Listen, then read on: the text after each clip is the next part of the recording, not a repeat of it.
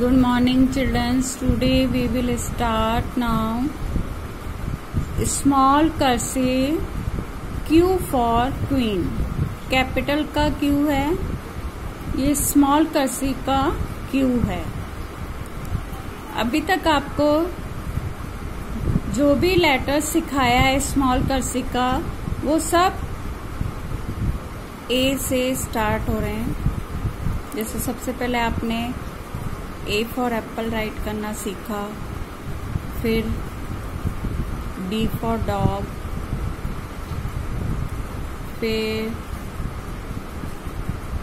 Ji for grasps और आज है क्यू फॉर क्वीन ये सब सेम ए से रिलेटेड लेटर्स हैं।